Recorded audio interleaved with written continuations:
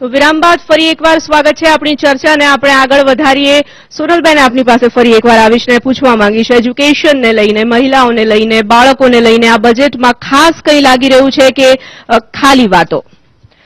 ના, એટલે આમાં એવું છે કે વિમેન સિક્યોરિટી જે છે, એને તમે પોલીસ સિક્યોરિટી સાથે જોડો છો એટલે બજેટવાળો મુદ્દો આવે છે.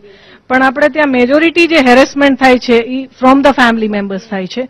અને એની માટે થઈને પોલીસ બજેટથી કામ નહીં ચાલે. એ તમારે ફેમિલી રિફોર્મના ઇશ્યુઝ પર કામ કરવું પડશે અને મલ્ટી ડાયમેન્શનલ કામ કરવું પડશે. એટલે security I don't require the security to protect myself કે જે પોલીસમેન હોય. પણ મારા ઘરમાં જ જો મારી પર ડોમેસ્ટિક વાયલન્સ થતું હોય ઇવન રેપ કેસીસમાં આપણે જોયું કે મોટાભાગના રેપ કેસીસ છે નોન લોકો દ્વારા થાય છે. એટલે તમારે સિક્યોરિટીને પણ જુદા પર્સ્પેક્ટિવમાંથી જોવું પડશે. એટલે હું જ્યારે વિમેનના મુદ્દાની વાત આવે છે, ત્યારે બજેટ પણ મને એવું લાગે છે કે બહુ હોલિસ્ટિક ડેવલપમેન્ટ ઓફ ધ વિમેનને ધ્યાનમાં રાખીને કરવું જોઈએ.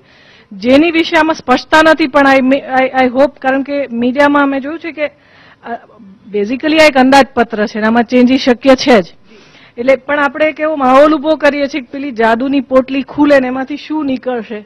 એટલે ઓબ્વિયસલી એમાં ઇન્ડસ્ટ્રી અને એની સાથે જોડાયેલા મીડિયાના ઘણા બધા ઇન્ટરેસ્ટ જોડાયેલા છે એટલે એનું એક હાઇપ છે. પણ એ પણ એક સમજવા જેવી વાત છે. પણ હું એવું માનું છું કે એને એક હોલિસ્ટિક પર્સપેક્ટિવમાં જોવાની વધારે જરૂર છે જ્યારે વિમેન સિક્યોરિટી અને એના બજેટની જ્યારે તમે વાત કરો છો. બીજી વાત જે થઈ એમાં ડ્રિંકિંગ વોટરનું બહુ મોટું પ્રોવિઝન છે. હું એને એટલા માટે બહુ વેલકમ કરું છું, કારણ કે ભારતમાં ડ્રિંકિંગ વોટરનો જે ગ્રોથ રેટ છે, એનું માર્કેટ એ પાંચસો ટકાના દરે વધે છે.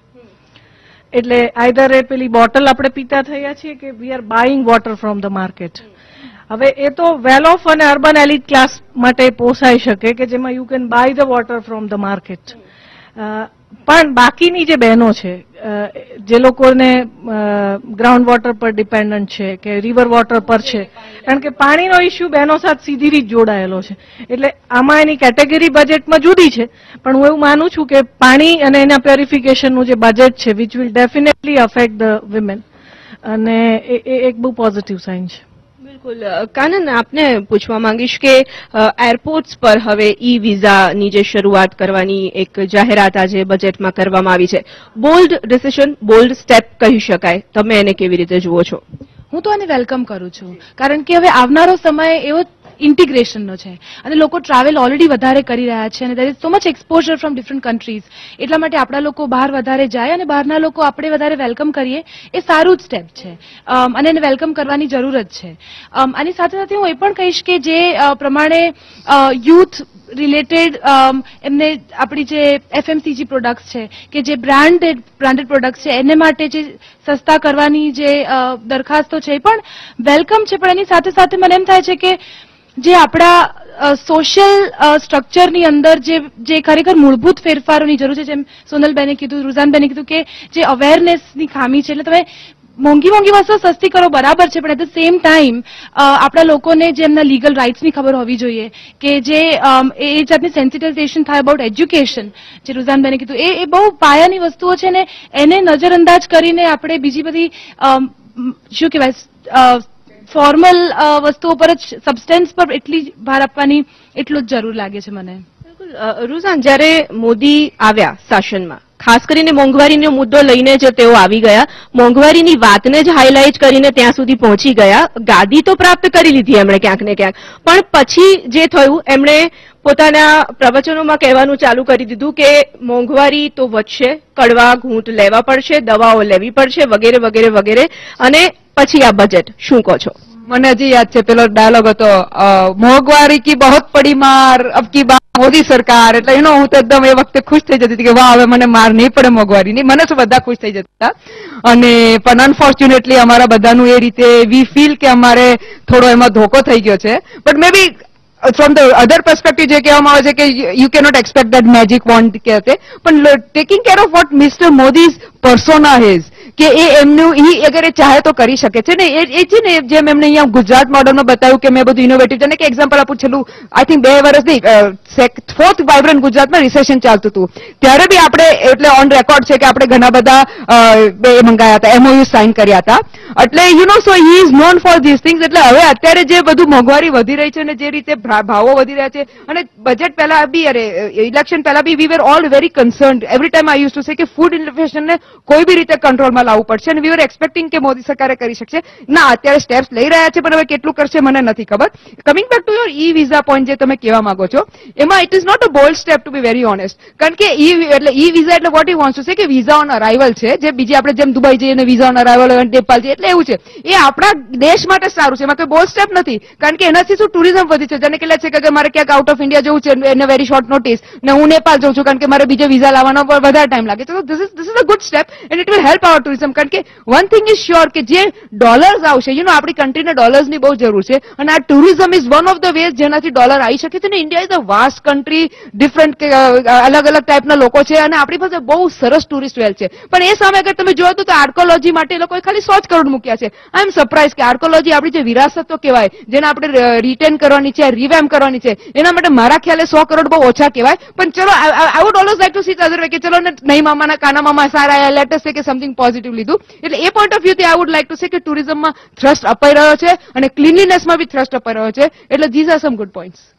કૃષાબેન આ વખતનું જે બજેટ હતું, એમાં એક રિફ્લેક્શન જે બહુ દેખાય એવું હતું કે ગુજરાતીકરણ બજેટમાં દેખાયું. ઘણી બધી આપણી ગુજરાતની જે યોજનાઓ છે, તેનો કેન્દ્રમાં પડઘો પડ્યો. વનબંધુ યોજના હોય કે પછી આપણે જ્યોતિગ્રામ યોજનાની વાત કરીએ, તો એક ખૂબ જ જેને ગુજરાતમાં છે કે મહિલાઓના નામે જ્યારે દસ્તાવેજ કરવામાં આવે ત્યારે એ એમાં સ્ટેમ્પ ડ્યુટીમાં રાહત મળતી હોય છે. આ વસ્તુ કેન્દ્રમાં પણ થઈ શકી હોત, તો કદાચ કેન્દ્રની મતલબ આખા દેશની મહિલાઓને આનો લાભ થાત. એ જેને કહેવાય કે પડઘો નથી દેખાઈ રહ્યો. એ સાચી વાત છે કે એ પડઘો આ બજેટમાં નથી દેખાયો. જો એ પડઘો દેખાયો હોત તો આ બજેટની રૂપરેખા કંઈ જુદી જ હોત અને આને બધાએ બહુ સરસ રીતે વધાવી લીધું હોત. બિલકુલ જૈનીબેન તમે કેવી રીતે આને જોઈ રહ્યા છો? સ્ટેમ્પ ડ્યુટીમાં જે રાહત મળે છે સ્ટેમ્પ ડ્યુટીમાં રાહત આપી શક્યા હોત તો ખૂબ જ એક પોઝિટિવ પાસું હોત પણ તે છતાં મારા હિસાબે ઓવરઓલ હોલિસ્ટિક વ્યૂથી આ બજેટને જોઈએ તો જે સરકારનું પહેલું બજેટ છે. તે પ્રમાણે તેમને જે બેઝિકલી જે કન્ટ્રીમાં અત્યારે જે ઇકોનોમિક જે પ્રોબ્લેમ્સ છે મારા હિસાબે કે જે ઇન્ફ્રાસ્ટ્રક્ચરનું પ્રોબ્લેમ્સ છે કે જે પાવર પ્રોજેક્ટ્સના પ્રોબ્લેમ છે, એ બધા પ્રોબ્લેમ્સને વધારે અત્યારે ફોકસ કર્યું છે. કારણ કે આ બધા જે પ્રોબ્લેમ્સ છે, જે બેઝના પ્રોબ્લેમ છે ઇન્ફ્રાસ્ટ્રક્ચર ડેવલપમેન્ટ થશે તો ટુરિઝમ બી થશે, તો બિઝનેસ બી ઉપર આવશે. એટલે બેઝિક જો ઇન્ફ્રાસ્ટ્રક્ચર ડેવલપમેન્ટ માટે જે ફંડ્સ ફાળવવામાં આવ્યા છે, તો તેના કારણે અને જો એનું ઇમ્પ્લિમેન્ટેશન થાય mainly implementation is necessary so if the implementation is done properly તો ઓવરઓલ ઇકોનોમીને ખૂબ જ એક સુધારવા સુધારવાનો એક ખૂબ જ એક સરસ ઓપોર્ચ્યુનિટી છે. બિલકુલ. શેર બજારની આપણે જો તમારી સાથે ખાસ કરીને હું વાત કરું, તો શેર બજારમાં આજે બજેટ રજૂ થતા જ ભારે તેજી જે જોવા મળી એ કેવી રીતે જોઈ રહ્યા છો તમે? શેર બજારમાં વાત કરીએ તો જ્યારે ચાલુ બજાર ચાલુ બજેટ ચાલુ હતું ત્યારે ખૂબ જ એક કડાકો આવ્યો. પછી એક ખૂબ જ ઉછાળો જોવા મળ્યો અને બંધ થતા વખતે નેગેટિવમાં માઇનસ થયું છે. તો અત્યારે જ્યારે શેર બજારમાં, મારા હિસાબે શેર બજારને એક બેરોમીટર તરીકે ના જોવું જોઈએ બજેટના બજેટ એક સેપરેટ ઇસ્યુ છે. શેર બજાર ખૂબ જ એક સેન્ટિમેન્ટલ પર બેઝિસ પર અત્યારે ચાલી રહ્યું છે. તો બજારની ઉતાર ચઢાવના હિસાબે આપણે એવું એક મગજમાં ફોર્મ ના કરવું જોઈએ કે આ બજેટ સારું છે કે ખરાબ છે. મારા હિસાબે બજેટ ઓવરઓલ જે પહેલું બજેટ છે, જે દસ વર્ષ ખરાબ ગયા છે, પછીનું જે પહેલું બજેટ છે, તો it is a good attempt and it is a good budget Kanan તમે કંઈક કહેવા માંગો છો? જી. હાજી ઓવરઓલ જ્યારે બજેટની વાત કરીએ, ત્યારે એમાં એકદમ મોટી મોટી પોલિસી વિશે પણ આપણને વાતો દેખાય અને નાની વસ્તુઓ પણ દેખાય કે ઓકે યુ નો આટલે આ આપણે મેમોરિયલ બાંધવું છે કે આ જાતના સ્ટેચ્યુઝ ઊભા કરવા છે. એટલે મને ખબર નથી પડતી કે સરકાર મેક્રો લેવલ પર વધારે ફોકસ કરવા માંગે છે કે માઇક્રો લેવલ ઉપર? અને જે મોદી સરકાર જે હાઇપ સાથે આપણા દેશમાં આવી છે, ત્યારે એટલી બધી એક્સપેક્ટેશન્સ લોકોના એની સાથે જોડાયેલા છે કે હવે કંઈક ચમત્કાર થશે આપણા દેશની અંદર. આપણે એક સમજીએ કે ચમત્કાર નથી થવાનું, પણ એટ ધ સેમ ટાઈમ આપણે પાછલા બજેટોની સાથે આ બજેટને કમ્પેર કરીએ તો એવું કંઈ એક્સાઇટિંગ નથી જોવા મળ્યું. એટલા માટે જે શેર બજારની વાત છે ઓફકોર્સ અને સેન્ટિમેન્ટ સાથે લિંક ના કરવું જોઈએ, પણ મને એમ થાય છે કે એ લોકોની જે થોડા લેટડાઉન થયા છે ને, એનો પડઘો પડ્યો છે ખરો ચોક્કસ બજારની અંદર. ઓલ્ધો વી હોપ કે નરેન્દ્ર મોદી એમના ઇમ્પ્લિમેન્ટેશન માટે એટલા જાણીતા છે, અને જે એક વખત કહે છે કે આ ઇમ્પ્લિમેન્ટ કરીશું તો થતું હોય છે અને એને કારણે ફેરફારો ચોક્કસ દેખાતા હોય છે. એટલે એટલીસ્ટ વી હોપ કે આ યોજનાઓ યોજનાઓ ન રહે, અને આ જે ખરેખર પ્રોમિસીસ આપ્યા છે દેશને, એ એકચ્યુઅલી પરિવર્તન થાય એક્શનની અંદર. બિલકુલ, માત્ર યોજનાઓની જાહેરાત. બિલકુલ ઓશાબેન શું કહેશો તમે? મારે એક ખાસ વાત કહેવાની છે, જે યોજનાઓ વિશે જ્યારે વાત કરીએ છીએ, કે જે ઈ વિઝાની પ્રોવિઝન નાખી છે, એનાથી આપણા જે ટુરિઝમને ફાયદો થશે, એનો એક ફાયદો મને લાગે છે કે જે એમને ત્રીસ કરોડ હેન્ડીક્રાફ્ટ યોજનાઓ માટે રાખેલા છે કારણ કે જે ટુરિસ્ટો આવશે એ આપણા ગામડાઓમાં જશે, આપણા હેન્ડીક્રાફ્ટને બિરદાવશે. તો આપણા જે હેન્ડીક્રાફ્ટના જે ઉદ્યોગમાં છે હું જે નાના એન્ટરપ્રિનર્સને બિલોંગ કરું છું, એ હિસાબે મને લાગે છે કે જે એ મહિલા વર્ગ છે, એમને ઘણો ફાયદો થશે. કારણ કે એ લોકો હેન્ડીક્રાફ્ટ બિઝનેસમાં છે અને આનો એ મહિલાઓને ફાયદો થશે અને એમનો વિકાસ થશે અને આપણા હેન્ડીક્રાફ્ટ ઉદ્યોગને પણ આમાં આગળ આવશે. શેર સ્ટોક્સના મામલામાં મારે ખાસ કહેવું હતું કે આઈ એક્સેપ્ટ એવરીથિંગ પણ એક ચીજ બહુ પોઝિટિવ થઈ after Mister Modi coming in કે મારા શેર જે બી હતા એ લોસમાં જતા હતા પ્રોફિટમાં ગયા. એટલે લેટ અસ એપ્રિશિએટ દેટ ના આઈમ શ્યોર એટલા બી અત્યારે ડાઉન નથી ગયું કે લોસમાં જાય.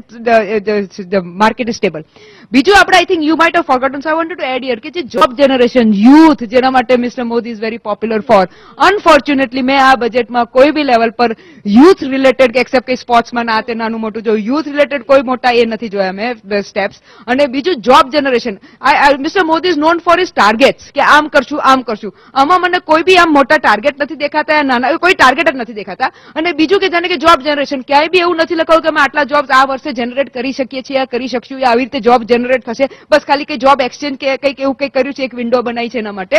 એટલે આઈ એમ વેરી મચ ડિસેટિસ્ફાઈડ કે from the youth angle from the view કે જે અમે જે રીતે એક્સપેક્ટ કરતા હતા, એ રીતે અમને એ જોબ જનરેશનમાં અમને કશું મળ્યું નથી આ બજેટમાં પર્ટિક્યુલરલી પરસે